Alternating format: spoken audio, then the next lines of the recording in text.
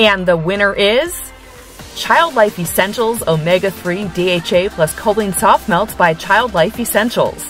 In what was a very close run category, the judges were swayed by the enhanced bioavailability of the emulsified omega 3 in a gel matrix form of the Vitux product. The soft melt form and the addition of choline helped provide an X factor that put this entry over the top.